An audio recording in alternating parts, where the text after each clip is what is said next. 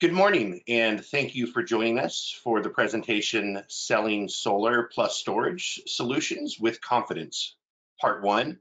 So this is a part one of a two-part series. Uh, the second part will uh, be presented next Friday at uh, 9 a.m.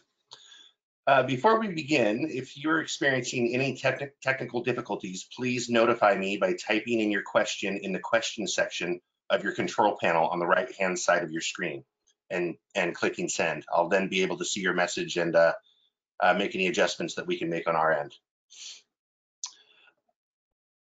We will have a question and answer session following the presentation.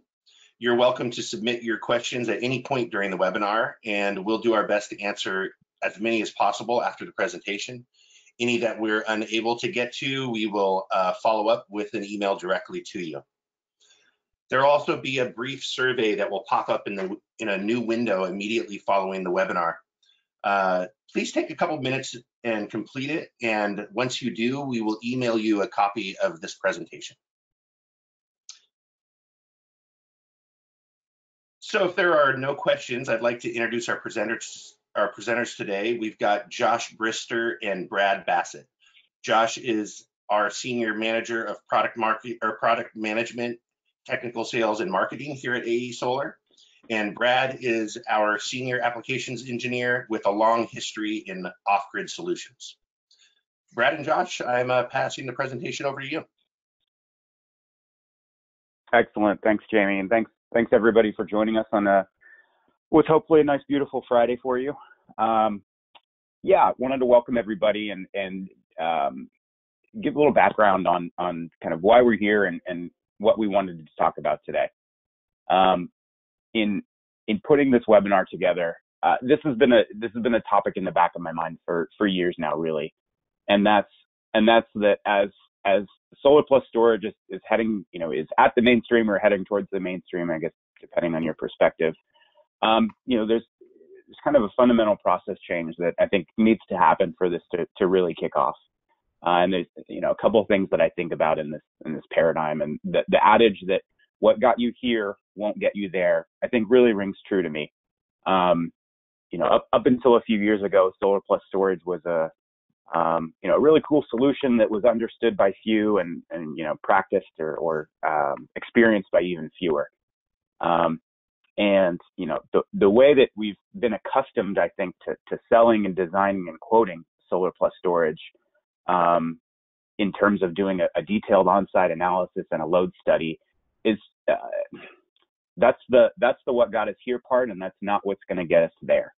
Um, in terms of the, the, the the world we're living in today, where it's it's harder than ever to to do an on-site visit and an, an on-site consultation and a load study, um, you know that that's a blocker for for you know, a lot of installations. Um, if we want to get this to mainstream and be able to, you know, be able to quote this and and get it out in front of customers at the same rate we can we can present customers with offers for grid tied solar. We've got to just refine our sales process and really narrow in the offer. Because um, what's clear is the the back and forth that I see so often of, you know, Mr. Installer, tell me what this is going to cost. Well, Mr. Customer, I can't do that until we figure out what you know what we need to back up and what it's going to do well, Mr. Installer, um, that sounds great, but I, I need to know how much it's going to cost before I can tell you what my priorities are.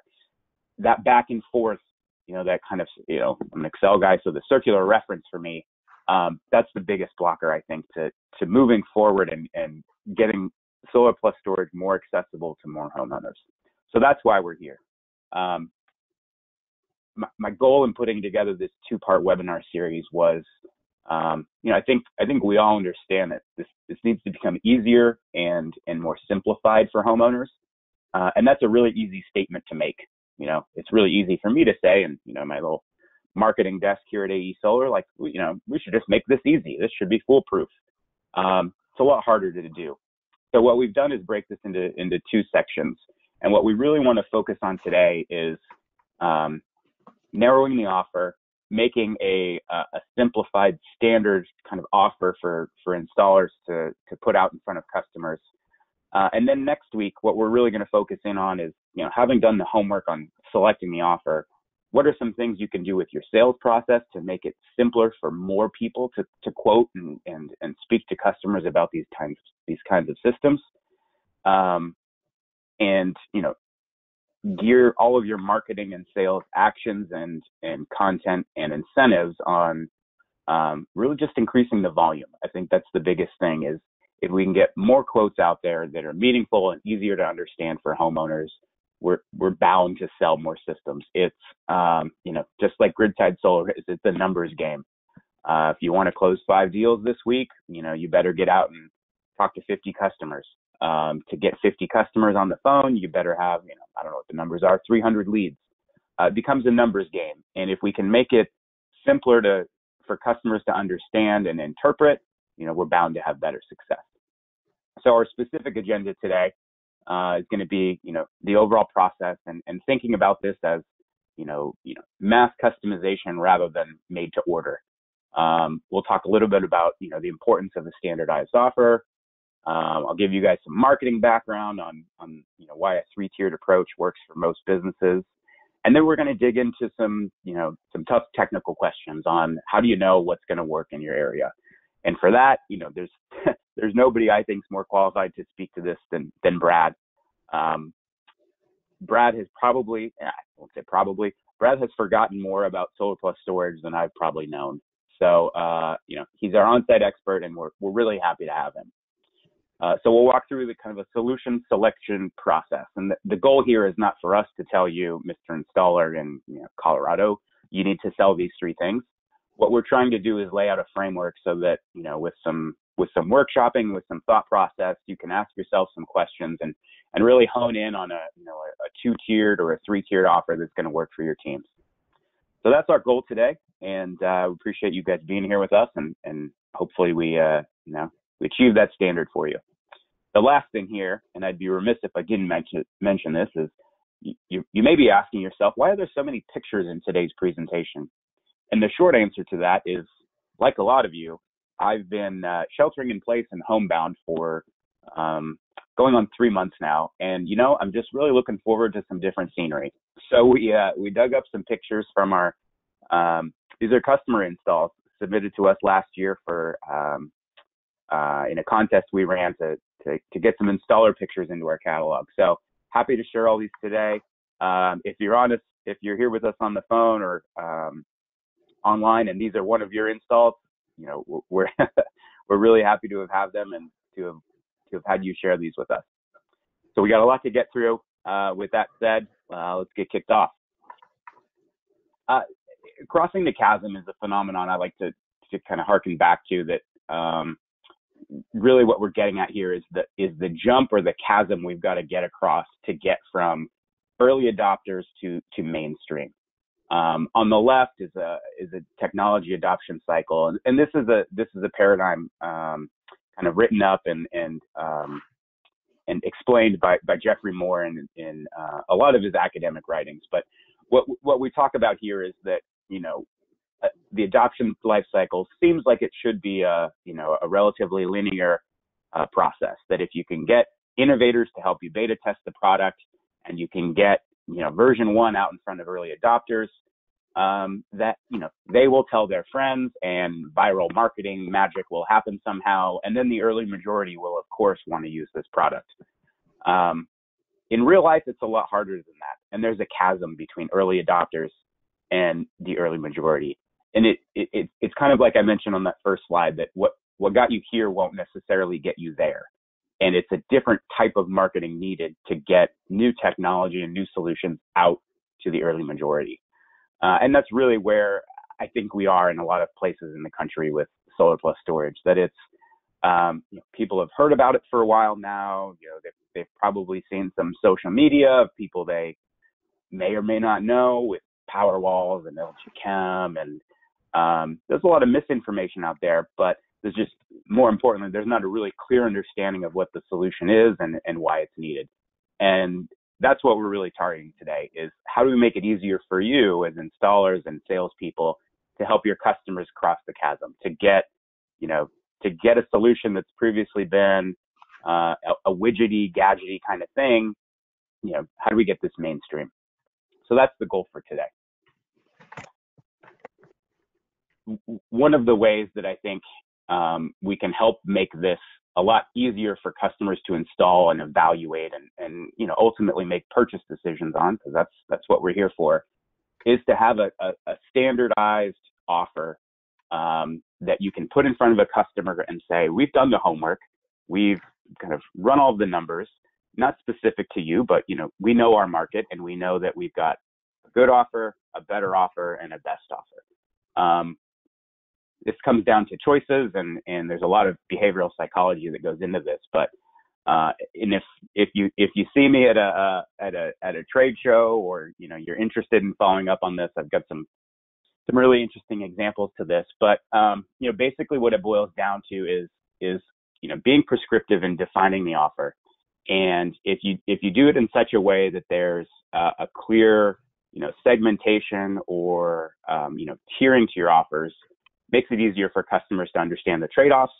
And in in doing a three-tiered offer, what the research says is you're more likely to get people into an upgrade package or a, um, a more premium offer by giving them trade-offs.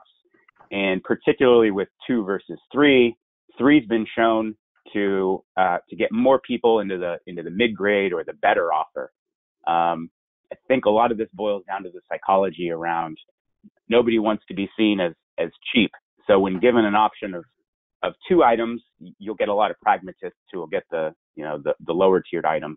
When you give them three choices, however, uh, becomes a little more conspicuous that they've opted for the cheapest of the three. Uh, so you see this time and again with consumer goods. You see it on um, you know wine lists at restaurants. A lot of uh, a lot of solid marketing behind this, and it's it's one of the things I like to try to rely on in in these types of discussions. Um, just some background kind of marketing speak for you in terms of how what's what's the goal here? Is the goal to just say I've got one storage offer, take it or leave it? Uh, no, I mean I think I think we all understand that if you provide people choices, you're able to kind of call it price harvest. You're able to get um, the right offer to the right people at the right price, um, and you provide them some some options. Now I've, I've included here a link to some follow-up reading on choice overload. There's plenty of examples that show that too many choices are debilitating and um, you know cause customers to um, to fall out of the funnel. And I, have certainly seen this um, uh, in my own personal life. So some good follow-up reading there. We'll keep working here because there's a there's a lot of content. So um, we've talked a little bit about you know the need to make this more standardized and the need to you know put this into a, a, a tiered offering. Um, at this point, what we really need to start to do is is is understand our market and figure out how we can narrow in. Uh, and I've got a graphic here on the side that's um, it's, uh, some good kind of marketing fundamentals on um, ways to slice your market and ways to ways to segment. So if we were to think about um, the writing instrument market, um, you know, our, our total available market would be anybody who ever writes anything um, that goes onto any surface, you know, really broadly. Um, the next, you know, the next slice of the market might be the product available market. So how many of those possible c- customers are available to us given the, you know, the offer, the solution we have. So if we're, if we're not an, a writing instrument company, we're specifically a, a crayon company, that's really going to narrow the market even further. Um, the next kind of zoom in or click click down is going to be served available market. So how many of those folks do we have access to given, you know, our marketing and our sales channels? So taking it one step further, if we're a, a crayon manufacturing company, but um, we only, let me think of a good example here, you know, we only sell in supermarkets, that really shrinks our, our served available market. Um, so this is thinking for us to think about how do we how do we look at the entire landscape of our you know our, our service geography or or the the network that we've got um, the, sales network we have. How do we look at that entire landscape and really kind of focus in uh, on what's what's going to move the needle? So um, questions we can ask ourselves you know to define the market broadly and then get more specific. Um, lots of big fundamental ones but what we're going to focus on first is uh, is um, that this gets to the use case of solar plus storage. Is is time of use or, or self supply? Is this a reasonable concern for homeowners? Uh, and I've got here my own rule of thumb of what you know what the delta between peak and off peak should be needs to be to to justify this arbitrage. So that's one really fundamental question you can ask about your territory. Um, I see a lot of folks struggle with this. How large is the retrofit market in your area really? And we're going to get down the line to, to asking ourselves questions about, you know, AC coupling versus DC coupling and standalone versus like a full platform. Um, in order to answer those questions down the road, we really have to ask ourselves now, how large or significant is this is this market to us really? Um, you know, if I'm uh, if I'm an installer in in North Dakota and I want to put together a solar plus storage offer, I, I may not really need to worry about how large that installed base is and how much retrofit opportunity there is um, versus you know the San Francisco Bay Area. There's a lot more installed base of you know solar only homes to go after with a retrofit offer. So just some some fundamental questions to ask about your market. Um, the last category is, is housing stock. So it's um, there, there used to be a lot more resources for for understanding the housing stock and you know how they were aging and when houses on on average were built in your area. Uh, it's a little harder to find some of that stuff now, but you know I think I think most of us understand the you know the geographies we're in and what you know what average homes look like. Um, so roughly speaking, what's the average service size? Are you in an area where 200 and 400 amp services are plentiful and things like main panel upgrades are just not a concern? Um, or are you in you know one of these northeastern areas where everybody maxes out at a 125 amp panel, and anybody doing large systems with backup is going to have a, a, main panel upgrade. That's a that's one of these really important steering questions we've got to think about. Uh, another, for example, is going to be average system size. You know, how much how much PV, you know, realistically is available to most to most roofs. Uh, and you see wide, you know, wide varieties of, of average system sizes around the country some of that's going to be budgetary. Some of that's going to be, you know, roof space and orientations and, and load driven. But it's a, it's a good kind of guiding metric for us on how do we understand our market? How do we build, you know, a, a one size, one size fits most kind of offer? So really good, you know, fundamental questions to ask about our market before we can do any of the, you know, um, kind of hypotheticals on what the, what the offer needs to be. Um, I call this slide kind of defining the playing field, and, and I just wanted to show kind of our um, kind of our thoughts here on on how we go about narrowing the field. Um, in in a in a normal instance, or in, in theory, this is a linear process on the left where we define the use case. Um, we define, you know, what we're calling the platform. So, you know, what's the architecture or the or the application we're trying to we're trying to utilize, uh, and then we'll dive into specific products. You know, and I'll give an example. I know that I want to target a, a you know an eight kilowatt AC coupled system that's capable of backup, um, and I know I want to use uh, Enphase. That's where we'll hone in and, and decide like this is the sample build material that we're going to quote out, and we're going to figure out what our adders are based on you know this really defined set of hardware. So that's in theory. And one of my favorite uh, Yogi Berra isms is, uh, in theory, there's no difference between theory and practice. Well, in practice, there is. Um, I think for the purposes of what we're going to talk about today, you know, we need to be uh, we need to be comfortable with the idea that this is going to be a linear process. That we're to, you know, we're going to define a set of use cases and we're going to think about platform technologies um, and specific products. And and maybe then at that point we're gonna um, we're gonna iterate and we're gonna start over.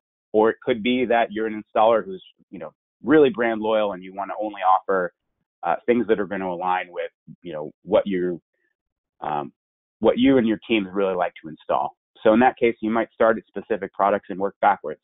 Um, there's plenty of ways to skin a cat and uh, it's not for us to say the right way to go about doing this um, if you're able to do this in a linear fashion, great. Um, if like me, it's more iterative and there's a lot of back and forth, you know, that's okay too. Um, so at this point, we've got some really fundamental questions about the system and, and what it, what we'll need it to do. And and for that, I'm gonna I'm gonna call in the expert here. I'm gonna call on Brad to start laying out, you know, how do we define the use case and, and what comes next. Thank you, Josh. Um, so I'm going to get into a little bit more of the technical nitty gritty here and um, some of the different use cases for storage uh, in a solar system. And uh, we can start right off with um, what are some of the local uh, rules and, and uh, utility tariffs and the like that are going to determine what type of uh, purpose you have for adding storage to the solar. Um, things like, you know, do, does your area have net metering available? Um, or are there time of use tariffs, um, you know, where the power is a different price at different times of the day, or maybe there's no feed-in tariff or at all, or maybe it's they only pay you a small fraction of what you feed back into the utility. Um, these are things that are going to be very different from one location to another, um, and part of what will determine what kind of systems you're going to want to offer. Um, and of course, um, you know, you'll have to determine does your customer want backup power? You know, a lot of many customers, maybe even most customers with solar are end up not being happy if the solar system does not work during a utility outage. Um, and see a, a, large value in having uh, that system work during an outage to give them some power. And also you need to keep in mind that, you know, backup power generally does require a backup loads panel, which requires some extra work um, in order to um, set the system up uh, so that they can have backup loads. Um, although some people do want the whole house backup. I mean, a lot of people want the whole house backup, but you'll have to determine, you know, at what price point um, do they do, can you offer that uh, to them. And then, you know, what where does self-supply um, give value to um, adding storage to a system?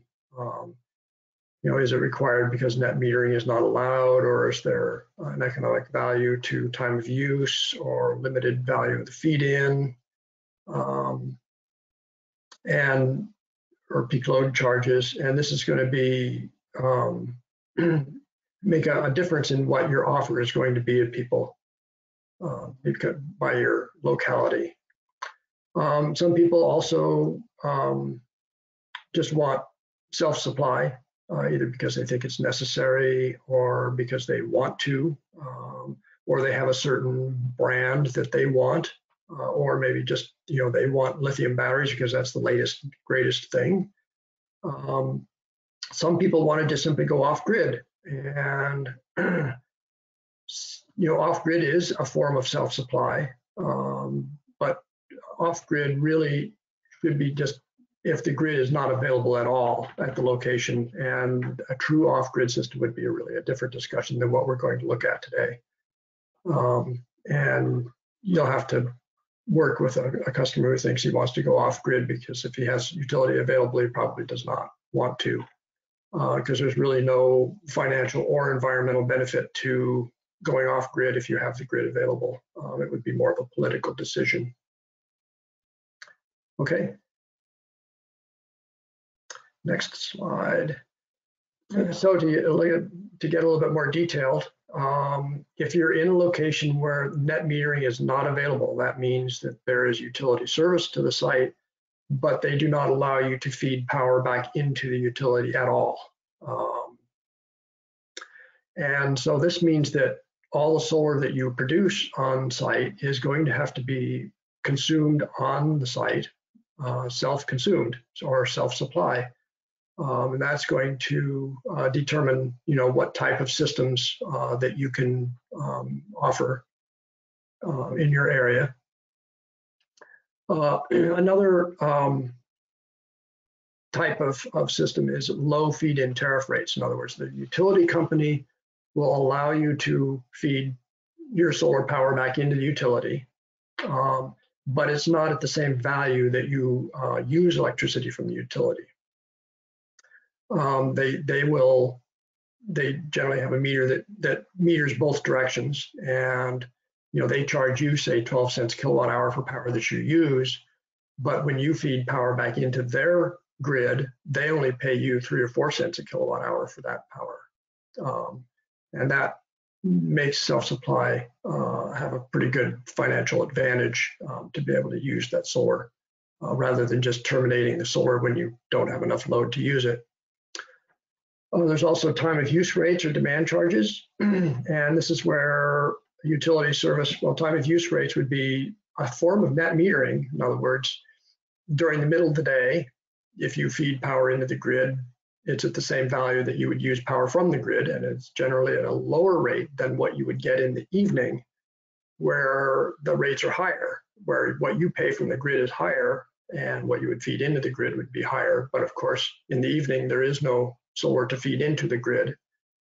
Um, and so this is sort of similar to um, the low feed-in tariff. In other words, you're you're feeding it in at a lower value than you're than you're getting it back out. Um, and and self-supply will help balance that out so that you can take advantage of your storage rather than and and, and mitigate some of that charge difference between the time of day. Uh, there's also rate structures where um, you just simply have a higher uh, cost of energy when you're drawing over a certain amount of energy per month or a certain power level.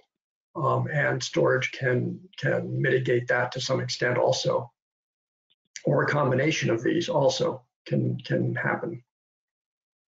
Okay.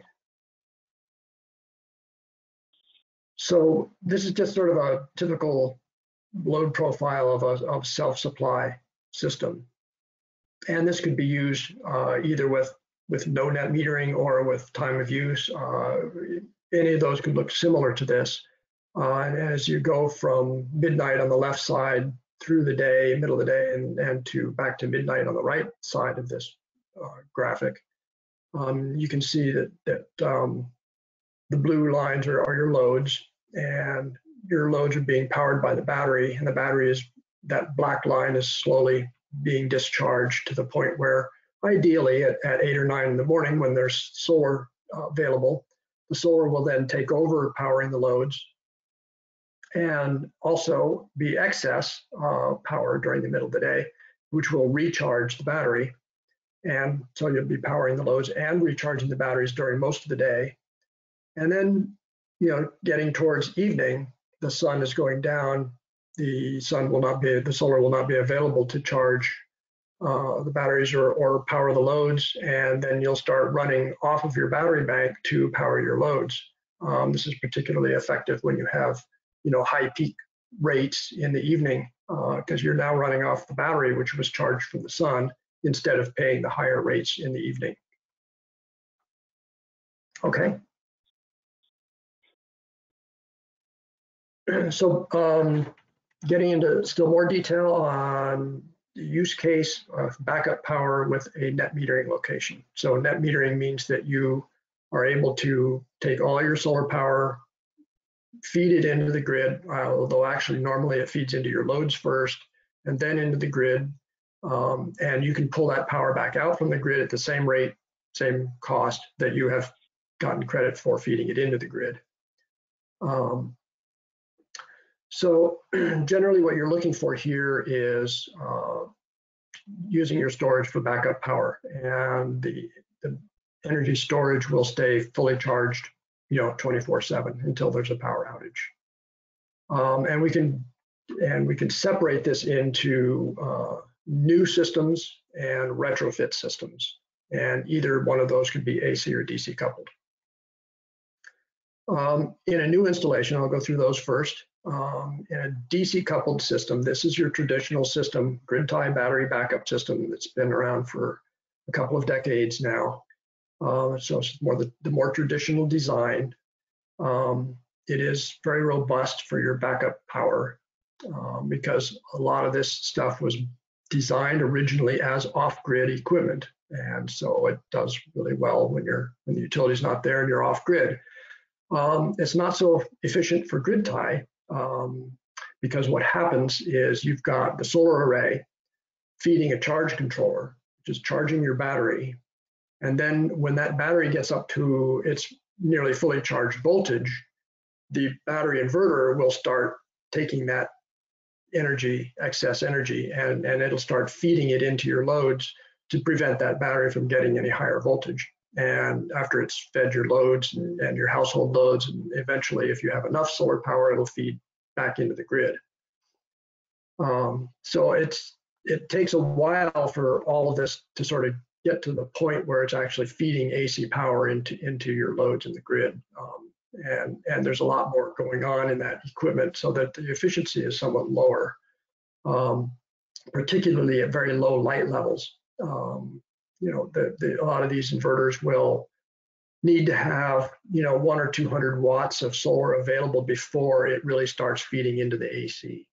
Um, whereas a regular grid tie inverter, yeah, I mean my micro inverters will start feeding into my into the grid at four watts each.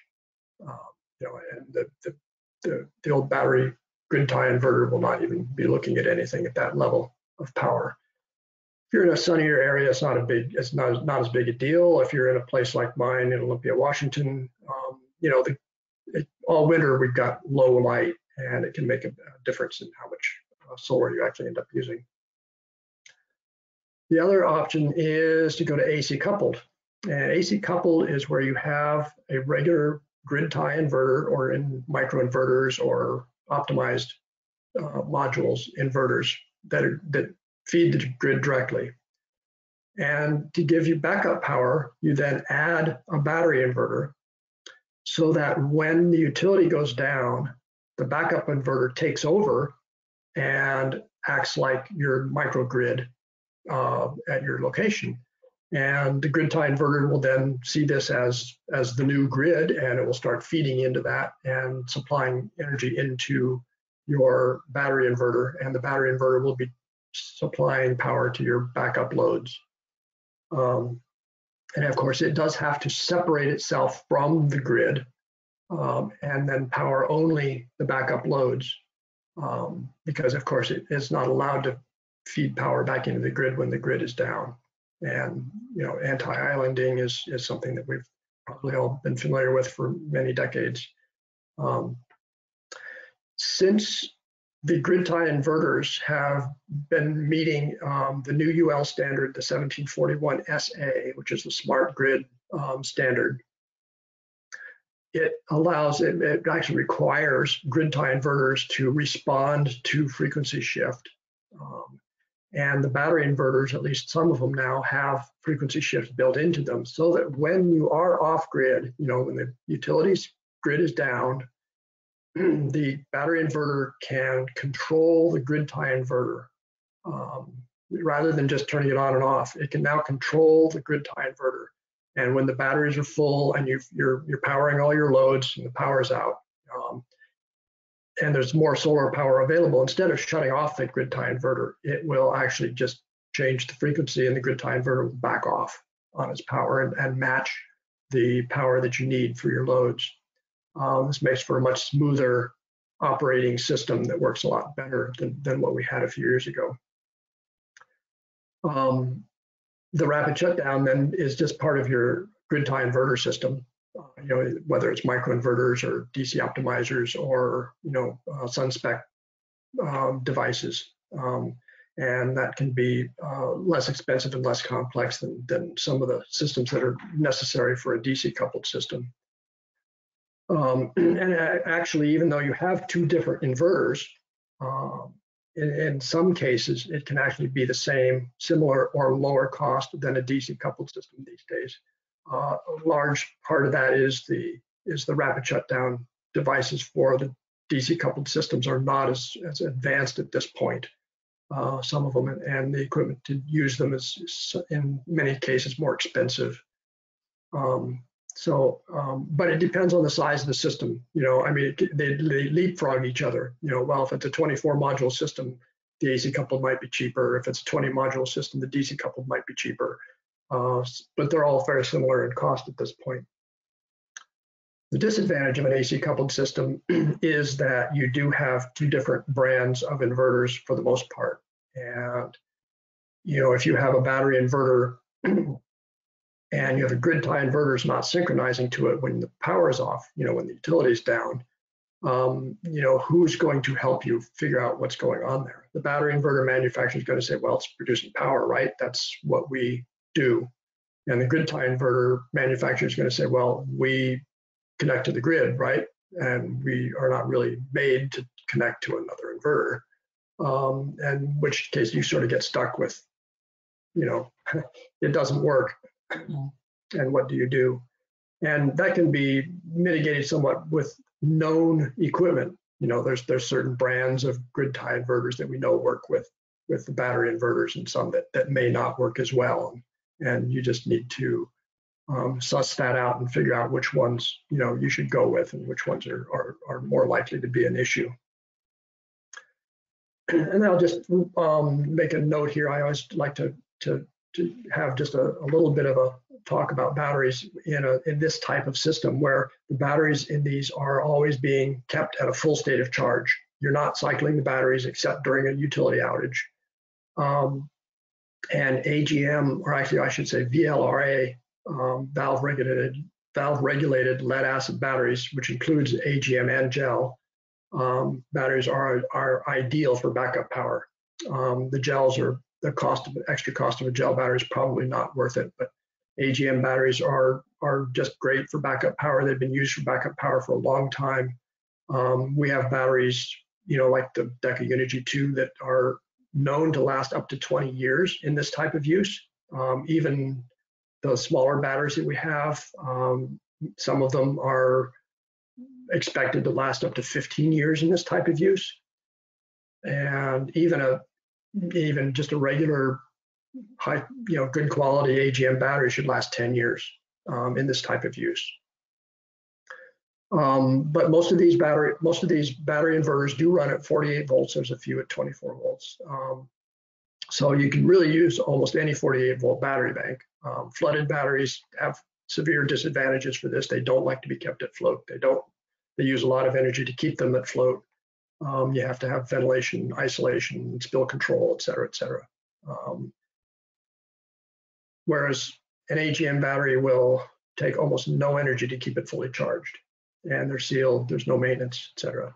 Um, you can also use the lithium iron phosphate batteries, which are available in 48 volts. Um, whether they would last longer than you know the top quality AGM is still sort of an open question, and of course they are quite a bit more expensive. Um, so they're they may you can use them if you want. Uh, they're they're certainly a premium choice, but they may not be. Uh, it would be hard to justify in in this type of system. Okay, next.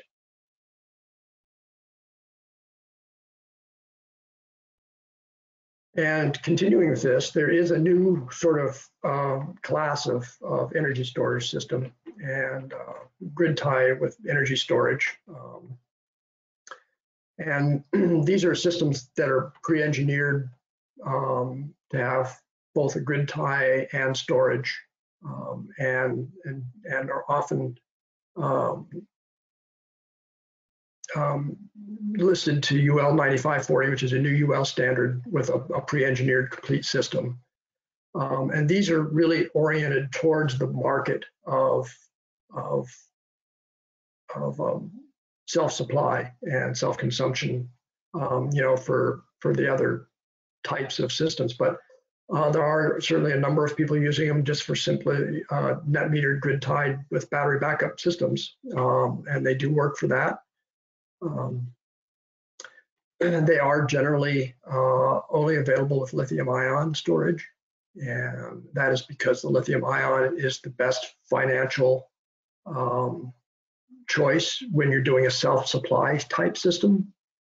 Um, so a lithium ion battery is, is your is your automotive type LG, uh, Tesla, um, Panasonic type uh, battery as, as opposed to the lithium iron phosphate, which is more of an off-grid type of, of lithium battery, uh, which is more expensive. So these um, batteries generally have a 10-year warranty. They will probably last longer than that in a backup situation, um, but we don't know how much longer. So you're looking at a battery that maybe lasts 10, 15 years. Um, and they don't necessarily like to be kept at 100% state of charge all the time. Um, but I think some of the inverters will allow them to be kept at a little bit lower than than 100%, uh, so it'll enhance their lifetime. They're really made to be cycled a lot. Um, and you can cycle them every day and they're still warranted for 10 years.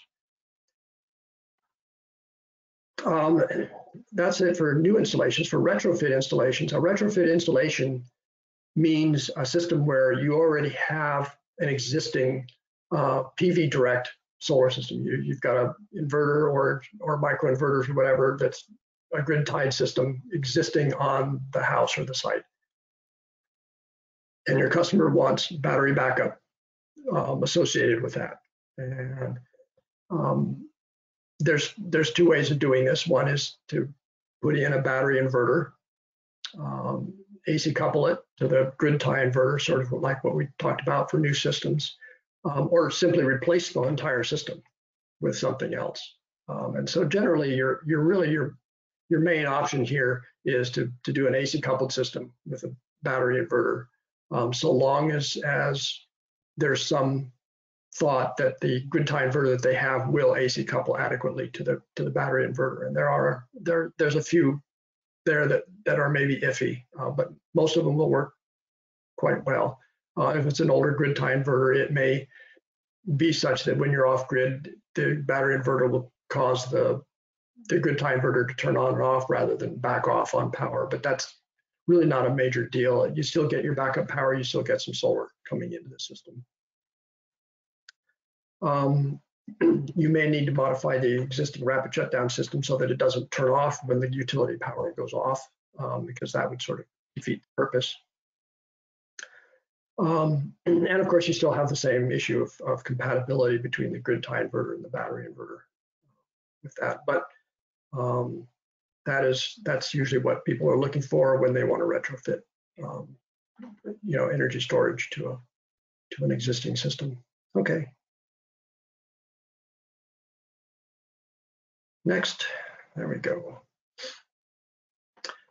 Now, you can also do backup power when you have a self-supply system. Um, you know, at, at, first there were some systems in Europe and then they started showing up here, uh, some of these um, self-supply type systems, and they actually did not have backup power capability um, because in Europe, apparently they don't really see the need for that very much. Uh, but in, in this part of in this country, uh, there is definitely a need for uh, backup power. Um, at least many people do see a need for backup power. And these self-supply systems uh, can also give you uh, backup power and are often used uh, for that purpose, even if they're primarily set up for self-supply. Um, you, do, you do still need to have a protected loads panel, generally, uh, so because the even this type of inverter does still need to disconnect itself from the grid when there's a grid outage. Um, or you can do whole house backup and this sort of gives them the details that under the under the upcoming code um, they have a section um, where these um, self-supply systems, particularly the ones listed to UL 9540, are now covered under section 706, which refers to section 710.15, which allows the inverter to have less capacity than the calculated loads. Now that is sort of an obscure little sentence, but what that means is that you can now have that inverter feeding the whole house, even if it can't power the whole house. See, under normal backup power requirements, um, the inverter is required to be able to back up all the loads that are on your backup loads panel. That's 702, I believe. Um, but now we have this, this means of, of using a smaller inverter that's just used for self-supply that can also be connected to power your whole house. Um, the problem with that, of course, is that the inverter probably cannot power your whole house. Um, so you have a choice and you have to be sort of careful here because um, you don't want a, a whole house backup system where the power goes off um, all the loads are suddenly connected to this small inverter and it can't handle it and it shuts off. And so your customer has a power outage, even if he has solar, um, until he manually goes and adjusts, you know, the circuits that he wants to power, and then it comes back on and powers what he wants. It does give the, the flexibility of being able to power the loads that he wants when he wants. Um, Now, some of these UL 9540 systems, uh, self-supply systems, are now becoming available with a big 200 amp service entrance or transfer equipment. It, you know, automatic backup unit or the big transfer unit or smart box or, you know, they're called various different things. But basically, it's a, a big 200 amp transfer switch. And often has, excuse me, a lot of the logic uh, that can now manage, you know, when is the solar coming in, when is it disconnecting from the grid, when is it using this um, inverter power, um, you know, when there's an outage, and and more and more we're going to see these that also have load control, so that if you have excess solar, it can send it to certain loads. Um, if you're off grid, it can it turn off certain loads so that it can manage the load so that they are only um, as many loads as what the inverter can handle. Um, we're going to start seeing a lot of, of these sort of smart boxes that, that can do this. Not all of it's, not all of them are available with this yet, but they're all working on it and some are, are available with a lot of this control. And also some of these will have generator input. Um, you know, so it can control when the generator runs, what the what the generator runs, et cetera, et cetera. Um, so this will this is sort of the direction that that things are going um, in the market. Um, if you do have a self-supply system and you've sized it, you know, you need a certain amount of storage uh, to make that self-supply work well. Um, if you want to use it for backup power also, you may have to add a little more storage to it um, so that you have, you know, say you're at the at the low point in the night, um, the battery's getting down as much as you usually use for self-supply, and the power goes out, you need to have some reserve there for your, your backup power. Um, so you may want to put a little bit more storage on these systems when they're used with uh, backup power. Okay.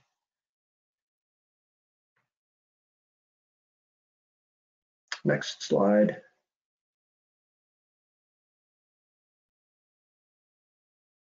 There we go. So I'm just going to spend a little a couple of slides here just sort of on, on the different inverter types. sort of coming at this from a different direction. And um, I, there's, I think there's a lot of confusion in the market about, you know, what to call different types of inverters. And I think people are sort of confused about what, what these different inverters are and what they do. Um, and, I, and, so I'm, I'm sort of starting to, to push certain names for certain types of inverters. And I'll describe what those are here. Uh, the first one is the PV grid tie inverter. This is you know, basically a box that converts your PV from DC to AC grid. That's your standard grid tie inverter. Uh, there's no storage capability. Um, and that's that's the one we're all familiar with. It could be microinverters or it can be string inverters or even central inverters.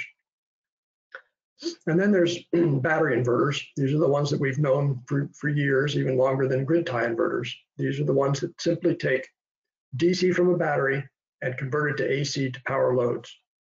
Uh, off-grid battery, off-grid inverters, um, and then somebody discovered that you can, with certain ones, you can actually feed power into the grid backwards, back into the grid with these. Um, and that started the, the grid tie battery backup inverter.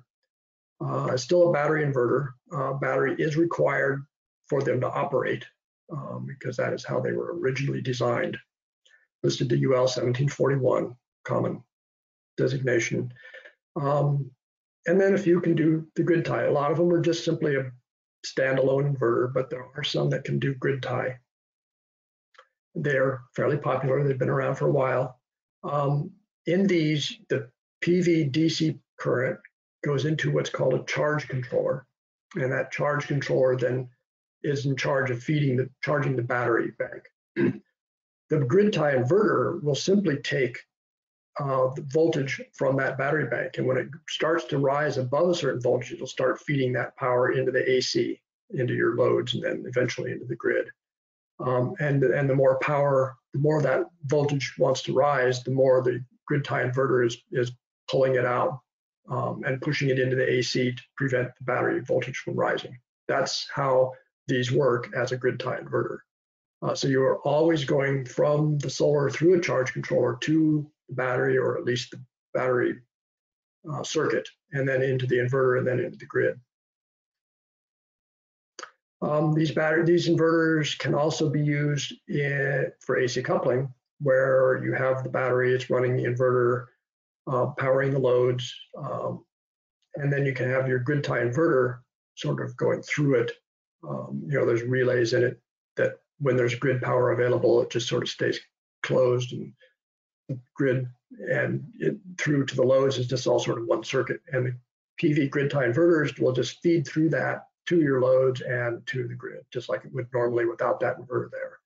Um, that's the AC coupling, and then it really only comes into action when the utility uh, fails, when it drops off. Um, and then your grid tie inverter will, I mean, your battery inverter will take over and become the grid that the grid tie inverter feeds. Um, you know, inverters that are this type, you know, the Outback Radian, the Outback VFXRs or FXRs, and the Schneider XW Pro. And there's um, a smattering of others. Um, that's, but that's those are basically the the grid tie battery inverters that are available uh, in the market in this country.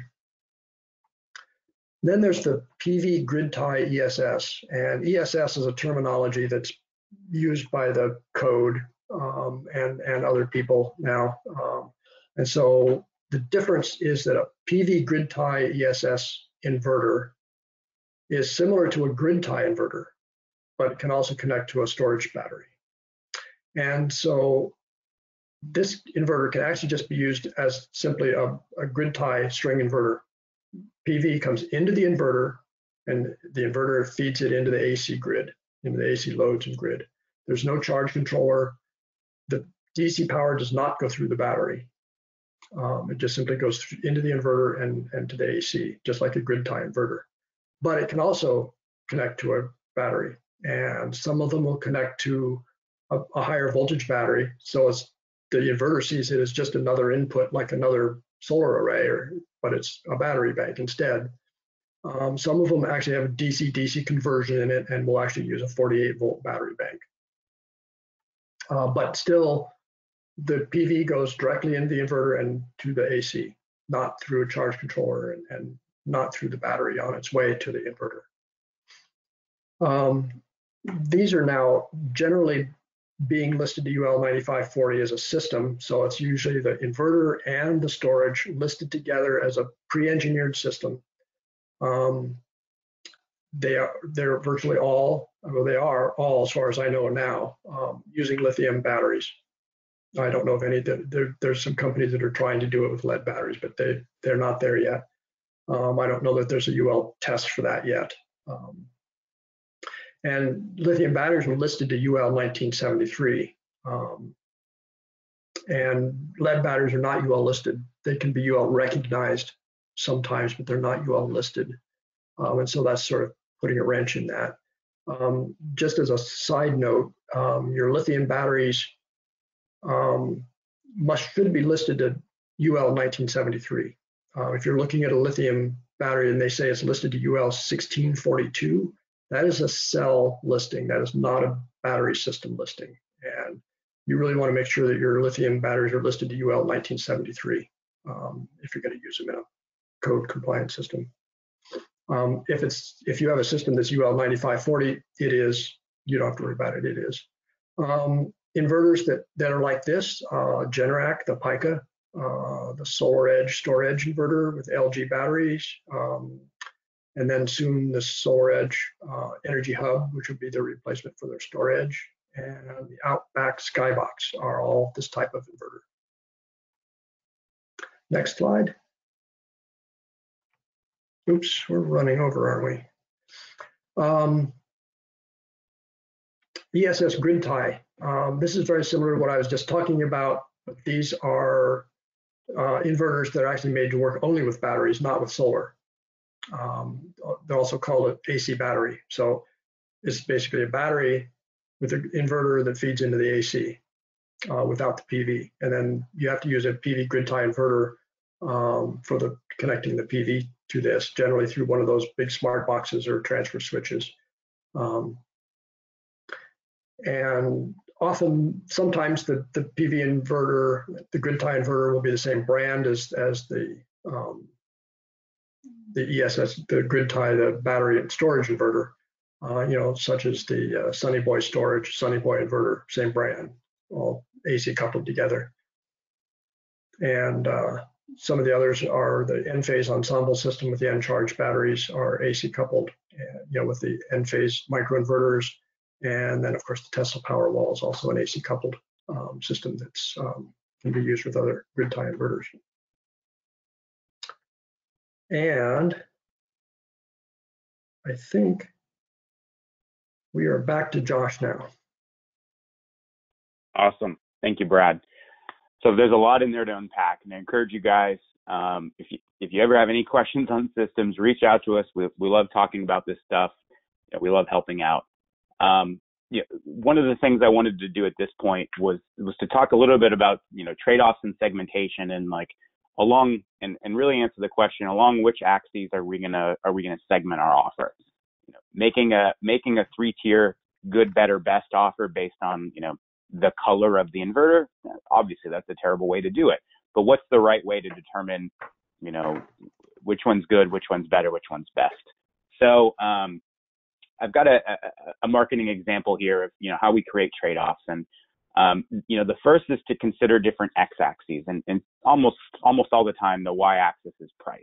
You know, so you're thinking about what what benefits or what features or you know what um, characteristics are going to define the different offers, and how do how do they how do they compare based on what kind of price people would pay for them. Uh, so the exercise here that that I'm you know throwing out there is um, you know draw up some axes, you know, do some doodles, think about, um, you know, to the extent you can, a, a, representative sampling of your customers in your area or your homeowners in your area, and think about these different axes. Where would you plot the potential customers based on their needs and the perceived value? So, um, if when we go through this exercise and we define the use case and and we think about the platform, we're going to come back to well, I, I could do almost anything. Like I, I, you know, based on what Brad's told us, we could have 40 different offers um, for storage in an area. Let's think about where the, the actual market is though. So if you think about a, a representative sampling of the, the homeowners in your area, you know, try doing this. Try just plotting them on axes and, and use a dot for every, you know, 10 homeowners or 100 homeowners or whatever your scale is. Um, think about, you know, where the big concentrations of, of customers are going to be. Um, and then how do you create clusters to target those? So I've done kind of three examples here. One, uh, the first on the left where we're, you know, we're comparing the backup power, you know, KW needs versus price. Um, you know, on average, do you have um, one easy way to segment this is, you know, you're going to have some owners who insist on having, um, you know, the, the air conditioner on uh, on a backup circuit. Well, you know, there's there's a use case for that. Um, you're probably going to have a lot more who uh, aren't willing to pay that much, but you know they've got really critical loads they want to make sure are backed up. Uh, another another trade-off we can plot here is how much total storage need do your customers need? Um, you know, this could be. I think about this in terms of like days or hours of autonomy, uh, and there's there's definitely some interactions with the the, the the KW numbers on the left. But you know, we could we can we can plot a bunch of homeowners and we can think about you know customers who are willing to um, you know, they need uh, four hours of backup on a on a really small backup panel. Uh, that might be our, our red segmentation here. The orange might need, you know, eight hours. Um, you know, your green folks might just insist that, um, you know, they want to be able to weather two days. So those might be systems where you're installing a lot of storage and maybe a generator interconnect. Uh, another possible trade-off um, segmentation here might be around cycling needs um, which gets back to the, the use cases Brad was covering around um, time of use and what kind of you know financial incentives and rates and tariffs are these customers on. Um, there's probably a whole a whole clustering of people that have um, you know very infrequent cycling needs. Pure backup application where we're talking about three outages a year. Um, we've probably also got in that same territory some folks who want to do you know daily or multi-daily cycling and arbitrage. So um, this isn't to say that these are the three trade-offs that you that you should use, um, but I think if you if you go through a couple different of these exercises, you'll get a feeling for you know how do you how do you position the two or the three offers and and um, what's going to be important to the homeowners. Um, you know, beyond the stuff on the data sheet, how are you going to sell this and you know, what what are the upsell opportunities going to be to get to get more customers into the green uh, into the green segmentation. So that's some thoughts on on trade-offs and segmentation and defining that, you know, two or, or three-step offer. Um, this next one, you, you know, going to give me, uh, hopefully you guys give me a, a, little leeway here, but I call this marketing by Mad Libs.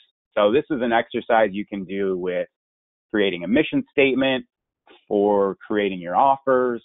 Uh, you know, a lot of the marketing strategy stuff you're gonna you're gonna you know do or or have done in your company can can really be worked out by this kind of you know fill in the blanks type format.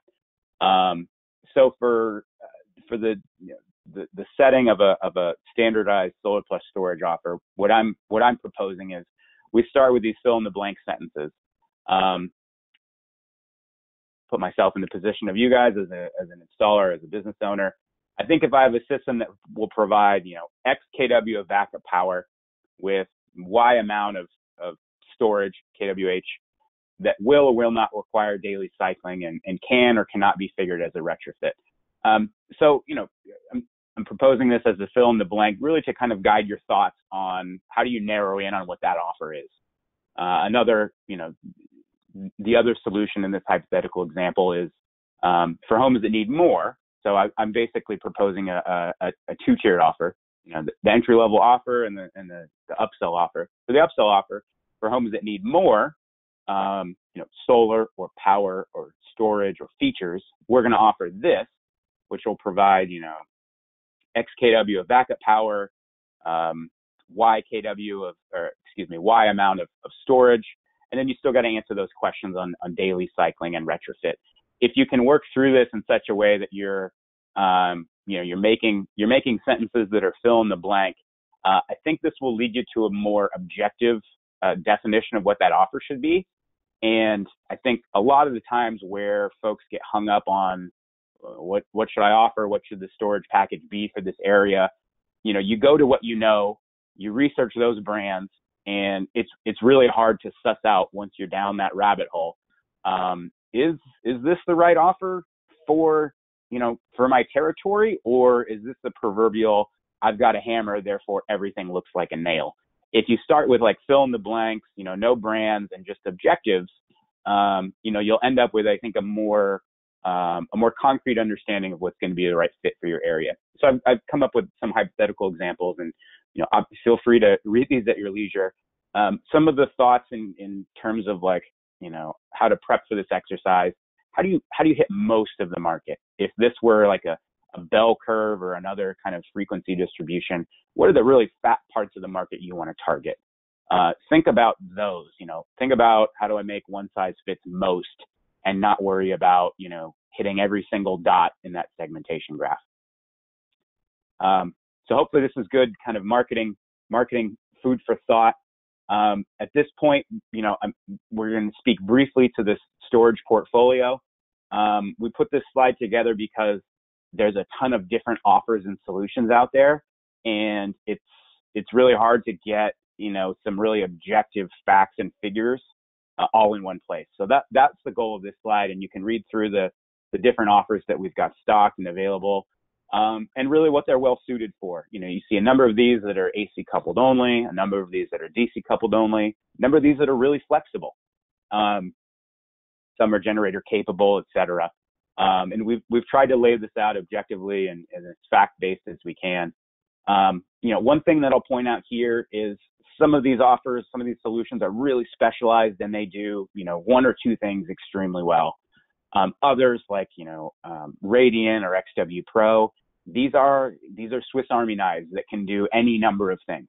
Now, a Swiss Army knife is great when you want to have one thing in your pocket that can do almost everything.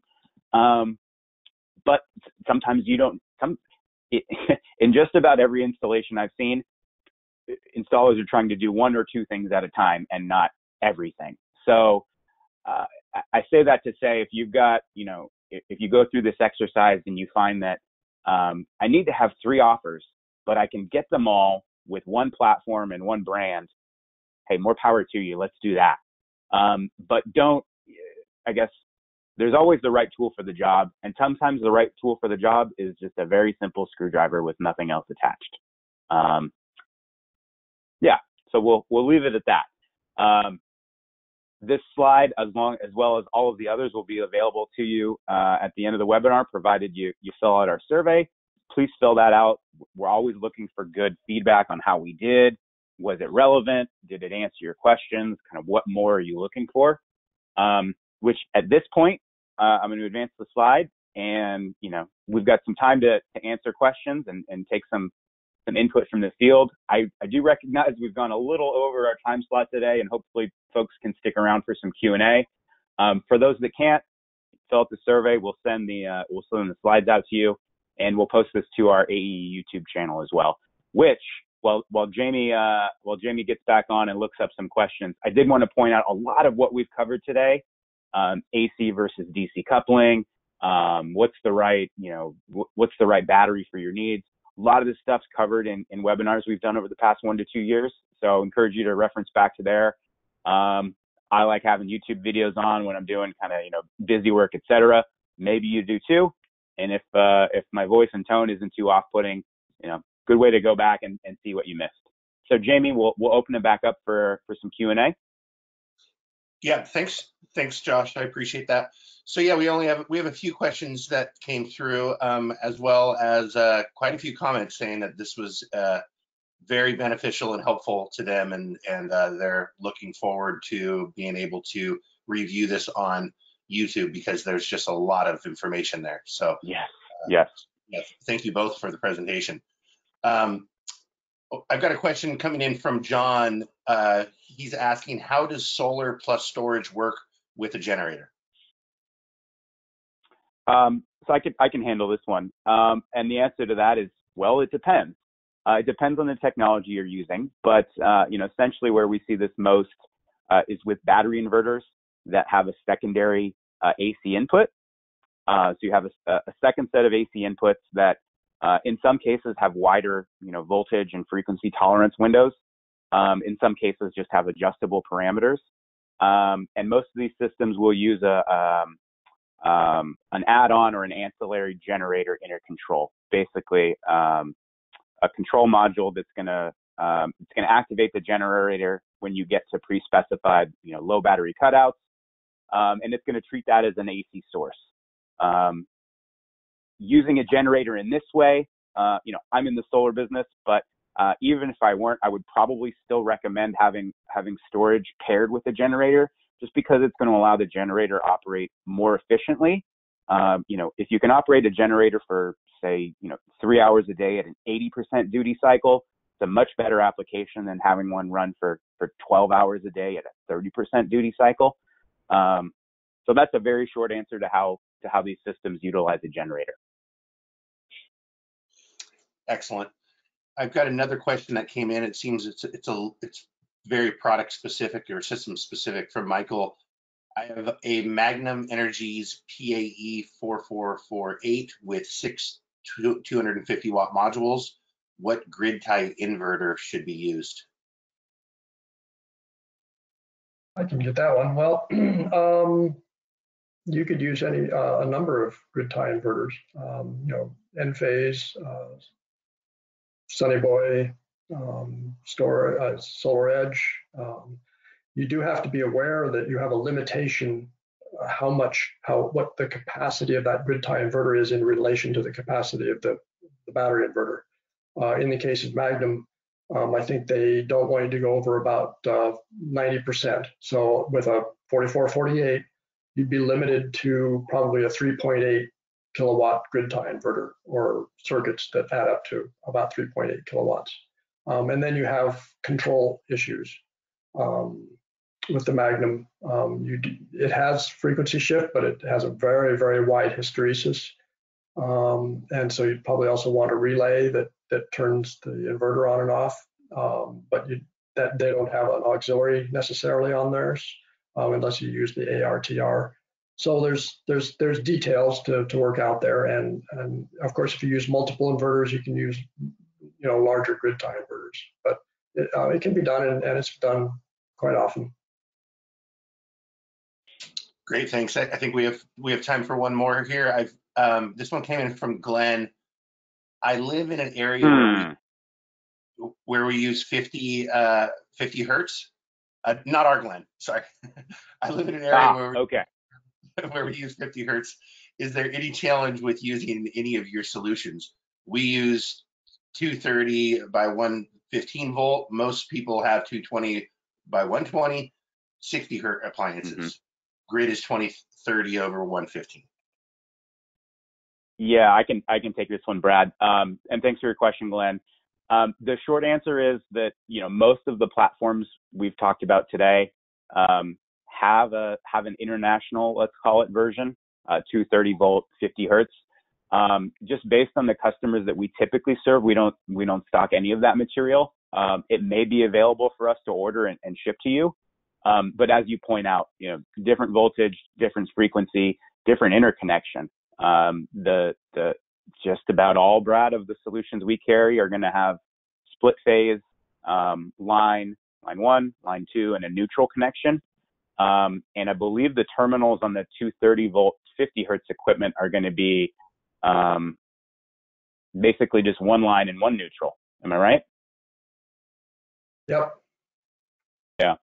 Um, so the short answer is no, they won't work. But you know, folks like Enphase and Outback and Schneider and, and you name it, they sell globally. So some of this equipment may be available for us to order for you, and, and we'd love to work with you offline on doing so. Great, awesome. Well, we are uh, about 10 minutes over. I appreciate everybody hanging in there with us. And uh, um, you guys, uh, Brad and Josh, thank you for the presentation. It was very informative. So as uh, as Josh had mentioned, um, there will be a survey that pops up at the end. We we really do read every one of your comments, and um, we uh, we use your that information to help kind of guide uh, us as to what types of uh, content and information you're interested in. So um, go ahead and fill that out. It'll just take a minute or so, and uh, I will um, we, we will be processing this and uh, getting the deck over to those of you that do take the time to fill it out and uh, also getting this up to our YouTube channel next week. So um, thank you for that. And then, of course, next Friday at 9 a.m., same time, we're going to uh, follow up with the second part of this series um, with actually, uh, you know, some some uh, more direct information as to selling the the solar with storage. So thank you, Brad and Josh, for your time today, and uh, thank you all for uh, joining us. Thanks, everybody. Have a great day. Thanks.